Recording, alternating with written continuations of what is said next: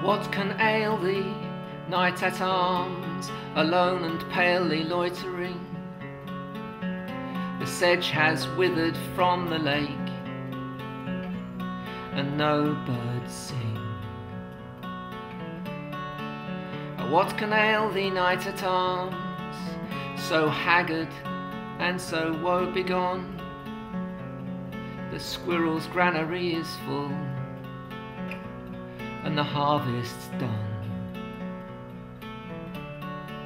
I see a lily on thy brow, with anguish moist and fever dew, and on thy cheeks a fading rose fast withereth too.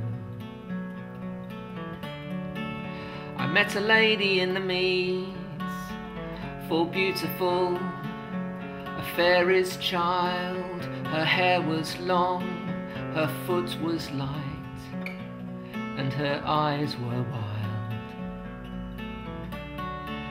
I made a garland for her head, and bracelets too, and fragrant zone. She looked at me as she did love, and made sweet moan. I set her on my pacing steed, and nothing else saw all day long. For sidelong she would bend and sing a fairy's song. She found me roots of relish sweet, and honey wild, and manna dew, and sure in language strange she said, I love thee true. She took me to her elfin grot, and there she wept and sighed full sore, and there I shut her wild, wild eyes with kisses four.